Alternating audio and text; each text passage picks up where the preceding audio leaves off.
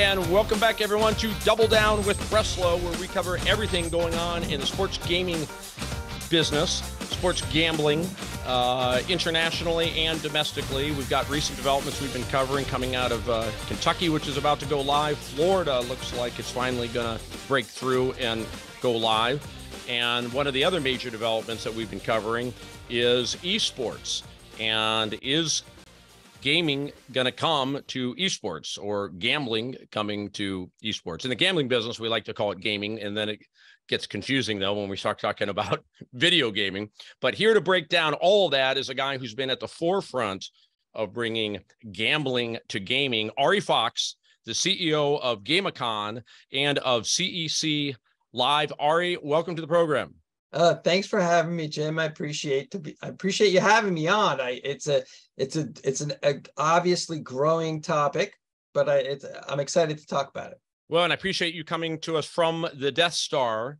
Uh, we started talking about this off camera, and uh, and I stopped you because I wanted you to explain to everybody uh, why you have the Death Star behind you and and your history of your yourself in the video gaming space.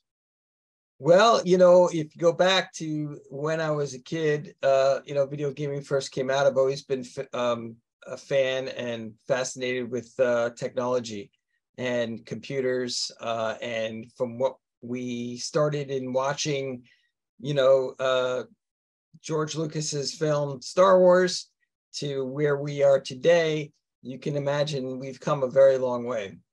And yeah. I, I was I was very taken by that, and I've always been taken by that, and that thus we're sort of like you know do what you love, and everything will come after that, right? Right. So do you have all the Star Wars collectibles from when you were a kid that are now worth so much money? Uh some.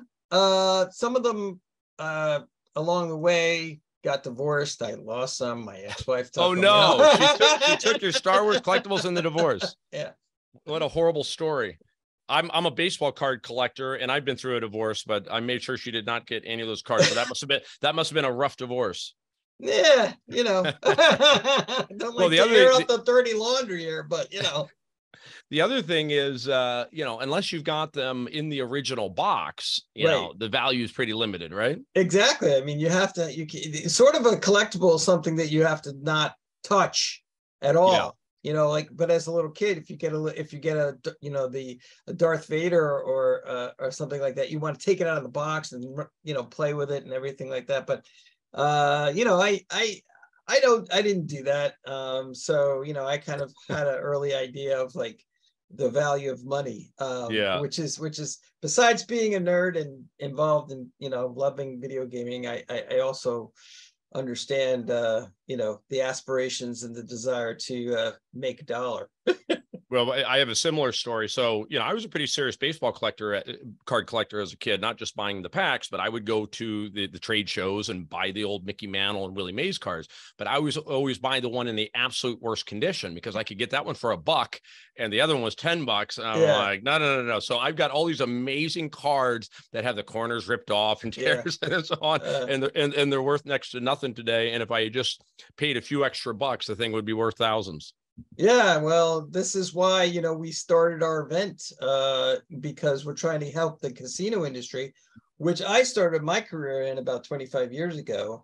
Uh, we're trying to get that industry to be to get in while it, while it's fresh and new, uh, so it can be worth more money later on. Um, right. You know, right. and that's that's very good segue, my friend. Well, yeah, I'm I'm a, I'm a born naturalist when it comes to the, doing this kind of stuff. So before we get to that, just t- tell us what what were the games that you grew up on? I'm I'm curious since you and I well, are similar I mean, there ages. Was, there was Pong, and then you know later on, um, you know we I started playing the Sega Genesis uh, and all the games that they were offering, mostly the console stuff. But then, do you remember the um the the Coleco, the the football game? Yeah. Oh, oh, just the dots? little handheld. Yep. Yeah. So that was like a huge, and not only that, as as I started, I went to private school, so uh, I was in a Dungeons and Dragons group. Yep. Yeah, you so, were a real nerd. That's right. I, I, remember I remember hearing about Dungeons and Dragons uh, in school, but yeah, that's funny that you reminded me that that was like the first you know handheld device. That's like the cell phones of today.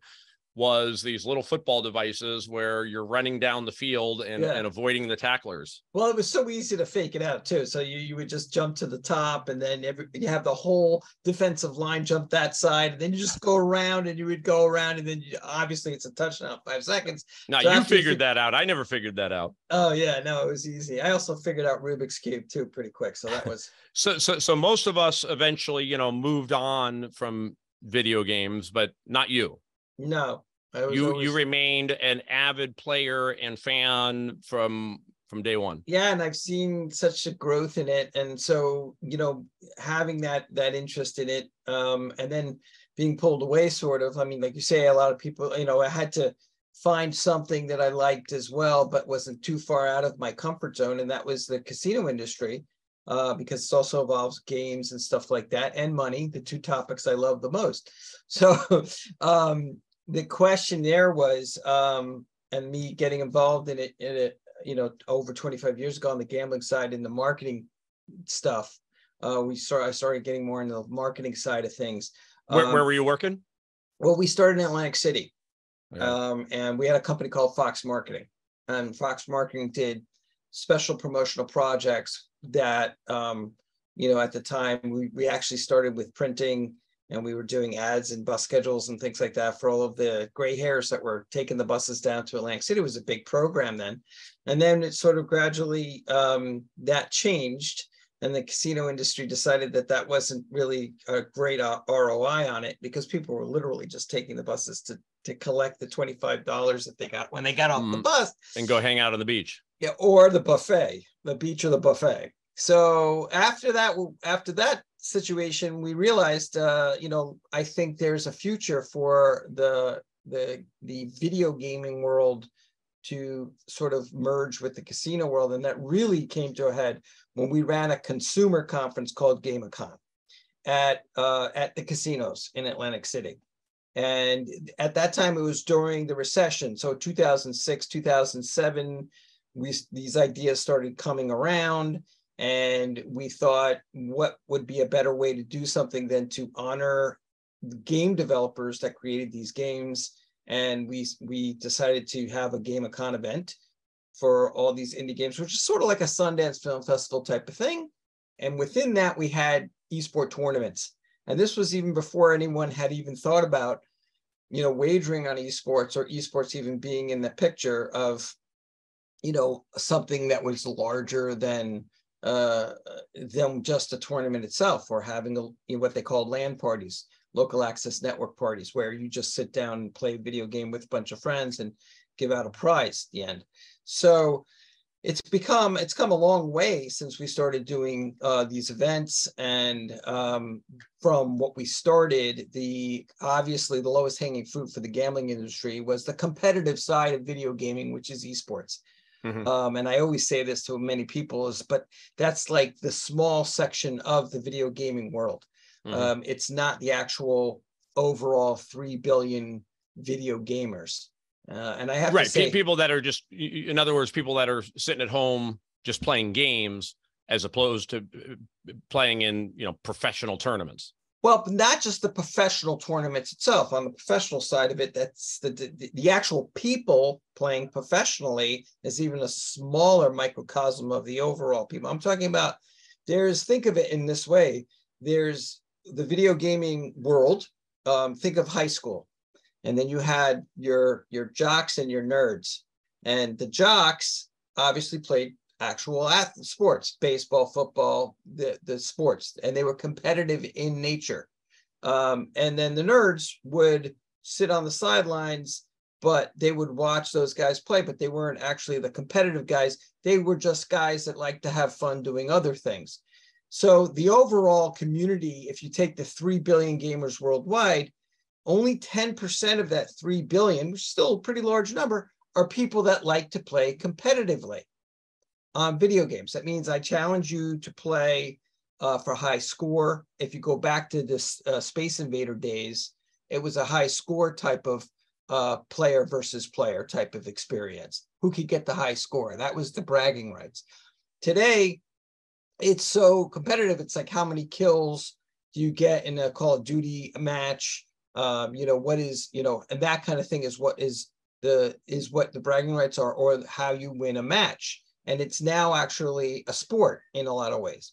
But that community as a whole of the 3 billion is only 10% the rest of gamers play games like and they call them exploratory games like zelda skyrim uh, arkham city. These are games that uh, are played like you play against a computer.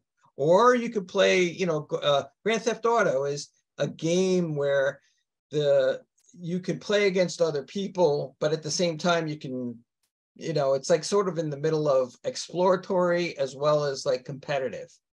Um so there's there's a lot of that that is out there. Um and a majority of the people that play video games like to play these exploratory games or what they call uh, role playing games. So mm-hmm. you you fall into a character and you play. So the numbers you're giving is three billion players worldwide. Three, 3 billion video gamers worldwide. Three, and then you're saying essentially 300 million, 10% are playing, um, or, or is that 30, 30, 30 million, I should say. Yeah, competitive video gaming. Or, or 300 million, yeah, playing competitive. And then how about how many are watching other people play games? Well, those numbers are around. You can you can accept or think of, but you have to realize that younger people watching video games are going to watch it really like at, in a sporadic moment.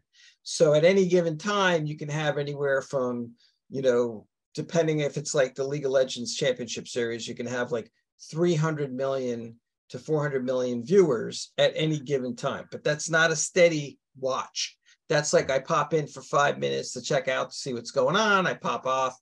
You remember younger people, um, Gen Z millennials, they can do like five, six different things at one time. And so their attention spans are absolutely like this. They're tiny, short spans of uh, that you can get their attention, which is why advertising and marketing finds it so frustrating to even talk to these people, like to get any kind of message out mm-hmm. is very difficult. So, so when they're watching though, they're watching what you would call professional players. Right. They're watching okay. professional players. So like I said, the League of Legends Championship Series, which is held in Katowice, Poland, they have a big uh, they, they were throwing events there. They were having finals there, but they can have finals anywhere. It depends on where that circuit's designed, where that circuit's set up. Um, and where they're going to have it, you know, it roams just like the Super Bowl in different mm. cities around the world. But video gaming and esports is worldwide. And that's where we're coming at because it's it really had its explosion when games like Doom uh, and other games like that were first launched on the on the internet. Um, and um, that's when it started becoming much more of a a world sport or much more of a world connected type of thing because obviously if you're sitting in you know uh, sydney australia and i'm here in new york i could play a video game with you if you happen to be up at that time uh, in the middle of the day or something like that. And you can make friends and connect with people worldwide through gaming. Uh, that's that's how these communities function. It's similar to when you could go to a baseball game and you see someone who's a fan of the New York Yankees, obviously you have a connection with them. You have something in common with them, the game of baseball as well as the game of, as the team that you're rooting for. So that happens, but it's much more of a broader sense because you're talking about a world population as opposed to the, you know, downtown Bronx, you know, uh, bomber fan base.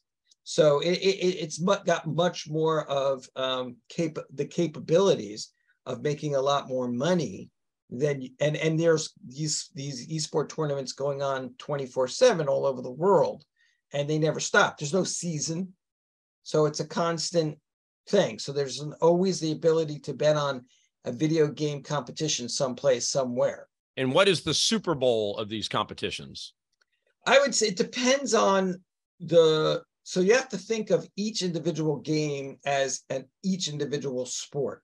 So if we think of games like uh, uh, Rocket League, League of Legends, uh, Valorant, um, uh, some of the these are and the ones I'm mentioning are are games that are normally played right now on the college in the college ranks. Uh, but there's around over 400 universities now that are offering esports, and not only scholarships for esports, but as a professional collegiate uh, program, uh, just like their other athletic programs. So there, so the, the question then is um, the championships of these at this point are just developing, I would say. They're in their, their beginning stages. But if you have something like the League of Legends Championship Series, which is that would be the if you ask me what's the Super Bowl, that has the largest amount of eyes on it, and that is the uh, if you so to speak the Super Bowl. Uh, think of League of Legends as comparative to the NFL mm-hmm. or football. So as I was saying before, the different games like uh, Rocket League, League of Legends, etc., think of them as separate sports baseball, football, basketball, soccer. They're literally separate games, just like those are separate games, but the video gaming side of it is separate games.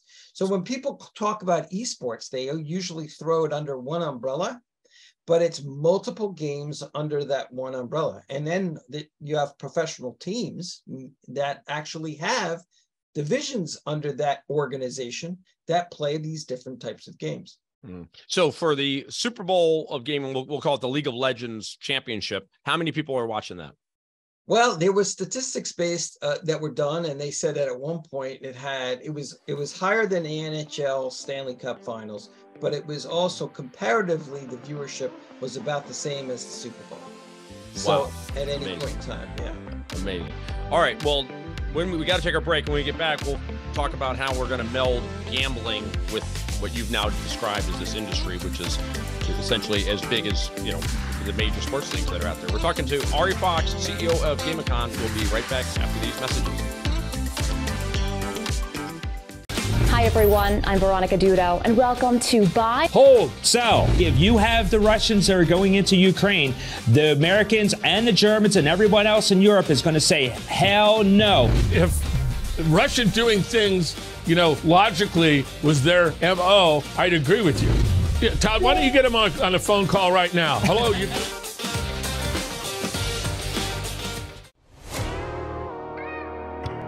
Welcome back to Double Down. We're talking to Ari Fox, CEO of Gameacon and CEC Live about esports and the merging of gambling and esports. So we've kind of been brought up to speed now as to where the gaming industry is. Uh, let's talk about now how gambling has merged with it. So just tell me the story about when was the first time anyone legally gambled on esports? When and where was it? It's funny you mentioned that. I think um, if you go back to the late 70s, early 80s, there was a competition for for Space Invaders, and it's it's it's rumored that there was a wager placed on who would get the highest score. It was held at the University of Georgia and it was a there was a tournament for Space Invaders. So if we could go back to that period of time, it wasn't legal, obviously, under sanctions of the of any state. Considering it was in the state of Georgia, obviously nobody was watching who was doing what, but there were bets probably being made at that time. So I it it's hard to say, but I could tell you that the first regulated uh, legal bet on esports happened uh, in I think it was in 2014 or 20 no 2016 at, at in Atlantic City uh, at uh, the Borgata, I think, and I think that uh, Governor Murphy or somebody was one of the first people to place a wager on an esports tournament, and it was League of Legends Championship Series. And you're saying first in the world, not just U.S. I'm talking about the U.S. Uh, okay. As far as the world is concerned, I there have been many offshore dark market um, esports wagering uh, platforms that have been out there, and um, it really I could I could tell you it really only started when the the professional side of it started to come more uh, into the into the into the view of the general public. Mm-hmm. So what about the what about the legal books in Europe? Were, were they ahead of the U.S.? Well, the legal books in Europe now um, are definitely ahead of the U.S., but they're playing. They they usually wager in a different game. It's called CS:GO, which is it's Counter Strike Go. It's like Call of Duty, but it's very popular out in Europe. It's Yeah. getting more popular here. And when it started there, is really hard to, you know, really hard to pinpoint when the first wager was placed on an esports. But we have to also realize that it's less than one percent at the moment in esports wagering. At least legal wagers that have been placed on esports is less than one percent. If you look at the books in regards to where the wagers have been placed, but it is it is growing. It's Wait, wait a minute. When you say less than one percent, one percent of what? Point point zero nine percent of wagers that are are are are what has been wagered on esports. That's the business for esports wagering is Mhm. nine percent. So we're almost at that one percent mark. But if you that's not including the offshore um, uh, offshore wagering that are not legal in places that you know aren't you know no one's watching the the legality or protecting the consumer. These are offshore sites that have been taking wagers on esports for quite some time. Now, we're also not including or talk, discussing in regards to this peer-to-peer wagering, which means the that's something else that's coming into the, the purview or the the view of the the regulatory markets in not just the United States but also worldwide. Is that if I challenged you, Jim, to a game of uh, Call of Duty or uh, some kind of one-on-one match like Rocket League or something like that, I bet you 20 bucks, you bet me 20 bucks, and then they take a vig, whoever's putting up that, you know, whoever is whatever platform we're playing on will allow us to play against one another, and then we can win whatever's left in the pot. So that's something else that's coming in as a discussion in regulatory uh, districts like places like New Jersey, at least in the United States. As far as Europe is concerned, they they already do have peer-to-peer wagering. Peer-to-peer wagering has also existed, um, again in offshore markets. You know, just like the iGaming uh, industry, internet gaming, and some of these other um, uh, businesses that have been around now almost 20 years, they started offshore and then ended up becoming uh, regulated and out of the dark. Same with sports wagering, because it was only legal in about three states of the United States. There was a lot of um, you know dark markets. Now there's not. It's much more. But the you know the AM the AGA, the American Gaming Association, still has their hands full in going after these offshore and dark market com- uh, businesses because there's limitations to uh, and regulations that are hampering the growth of the sports wagering industry. Now, you know, as you mentioned, some of these newest states that are going to be getting sports wagering, like Florida and some others, they're doing well. They're going to they're going to make money on those taxes, but how well is the actual business doing? In other words, the sports wagering platform, which is, you know, why we can talk about now bringing esports in, and then Mhm. possibly as another way to earn more revenue because you So know it's, about, it's uh, volume based. We got about approximately 30 states right now, right, that have uh, online sports betting uh, or, is, or it's coming online. How many of those also allow betting on esports? Uh, I think New Jersey, Pennsylvania, and I think that's about it at Wow. this point. Yeah. Wow. And so I'm, I'm kind of wondering why, because in, in New Jersey's had it for quite some time, right? Yes. New Jersey's had it for So quite some time. what's your analysis as to why these states, when they're approving sports betting, are not just throwing in comma and esports? Well, you, also besides the the offering of esports, the question is, um, I mean, for people in their over fifty, okay, you can you can understand that a a gambling establishment, whether that be online or in a brick and mortar, created a um, environment that um, attracted or still attracts people of a certain age. Correct. So the the younger people that are betting and wagering on esports or into video gaming, um, that environment hasn't developed yet. And so when we work and do our event at the CEC Live, that's exactly what we're talking about. How do you create that environment that even if you're offering something online for them, how do you create that environment that's going to um, uh, make them feel comfortable, make them understand that this isn't where my parents and grandparents play, whether that be online or in a land-based casino. Um, it's place for me.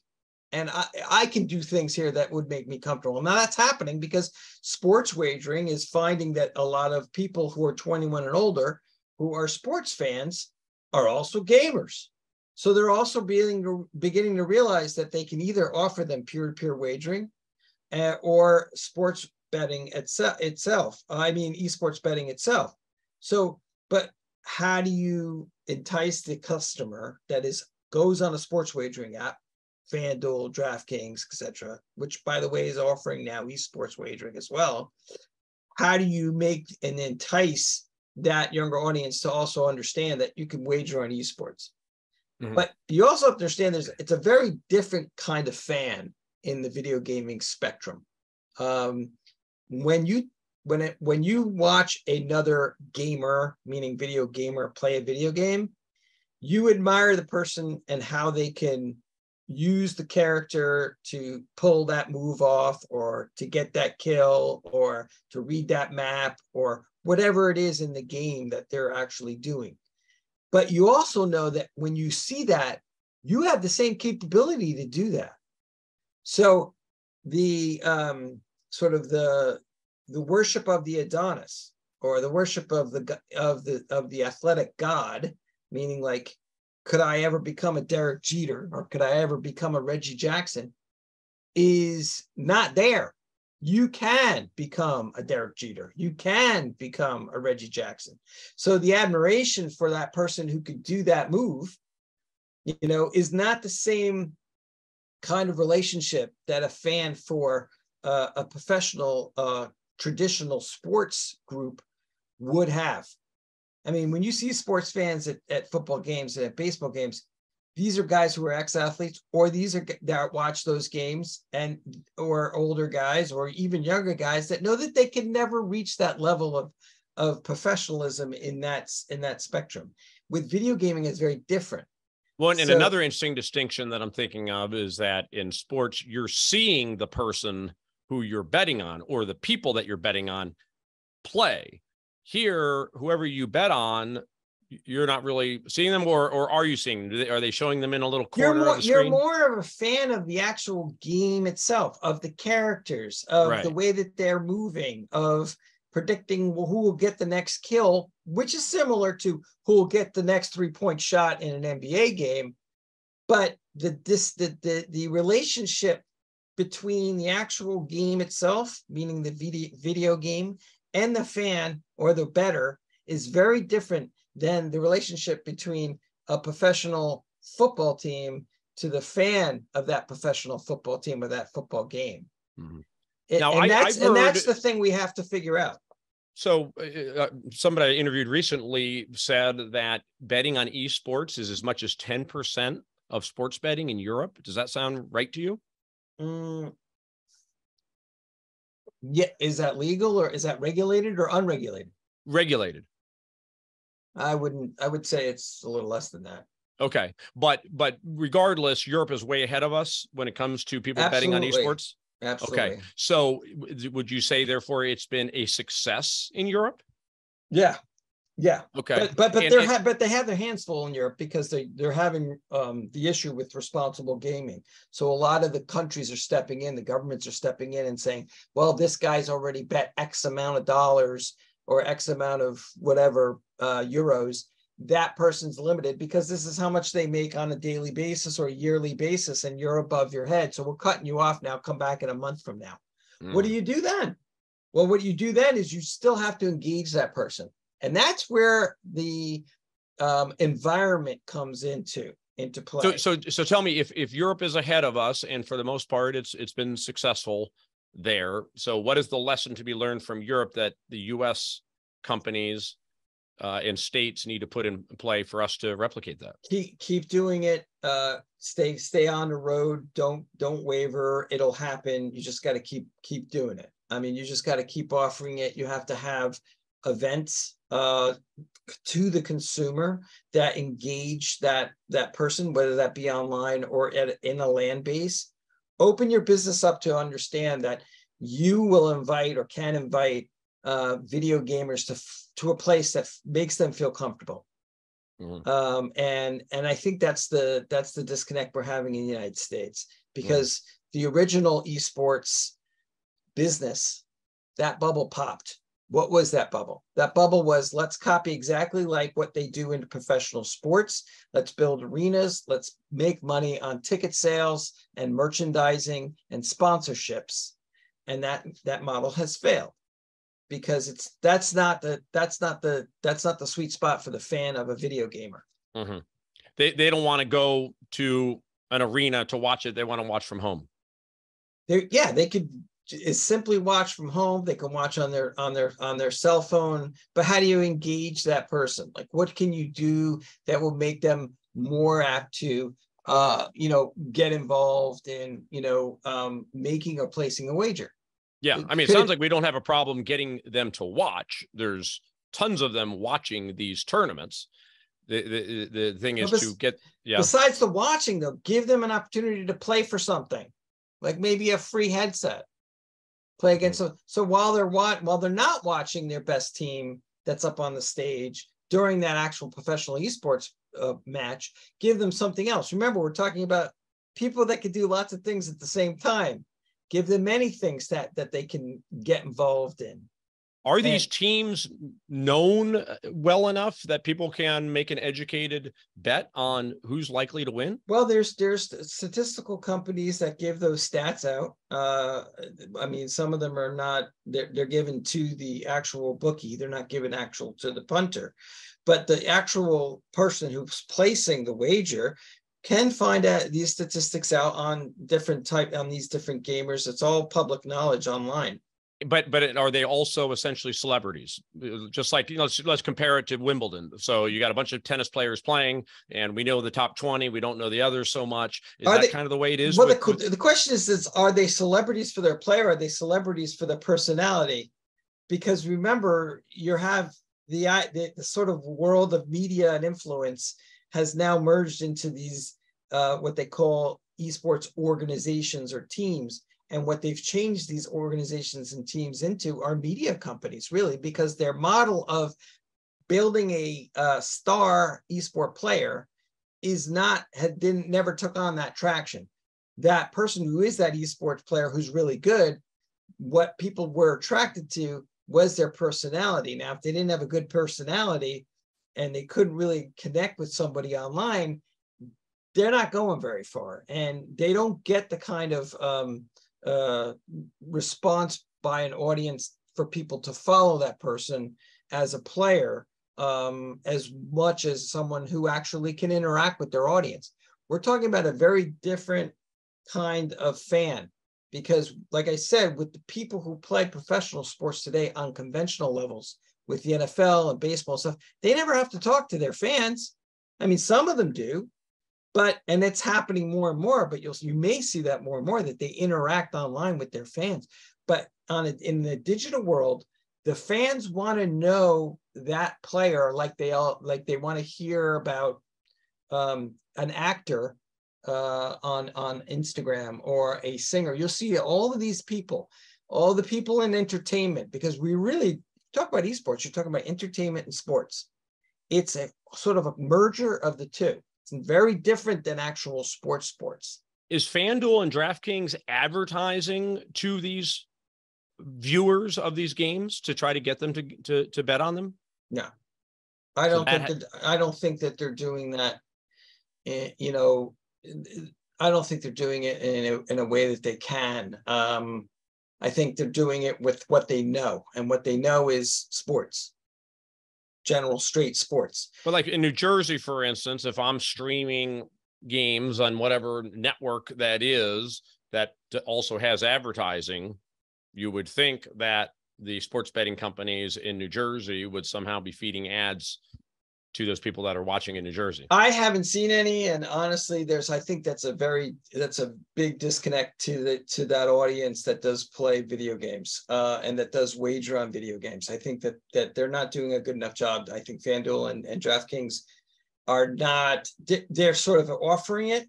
It's it's there. It's on their platform that you can wager on an esports tournament but it's not a pronounced. Like I wouldn't know. I guarantee if you walk up to any video gamer that's 21 or older, um, they know that FanDuel, as soon as they think of FanDuel DraftKings, it's it's sports wagering. I'm going to bet on the NHL. I'll bet on a baseball game. I'll bet on a football game. As far as esports is concerned, oh, I didn't know they had esports. That's what you're going to get because they it's it's it's sort of stuck in a little corner over there, and uh, it, it happens to be if that person meanders on their platform, will find it.